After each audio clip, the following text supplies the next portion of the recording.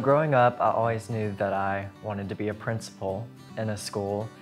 And to do that, I decided that I didn't want the background in education. I would rather have the background in psychology and child development. I came in as a biochemistry major, and all of the professors, even in the bio biology department and chemistry department, helped me figure out where I wanted to be and what I wanted to do, and were very encouraging. When I found that they uh, had a good psychology program and they were a Christian school, I was, I was kind of right on it because I really think it's obviously very important to have um, a biblical foundation for counseling and, in everything that you do. I'm majoring in creative arts therapy with an emphasis in the visual arts.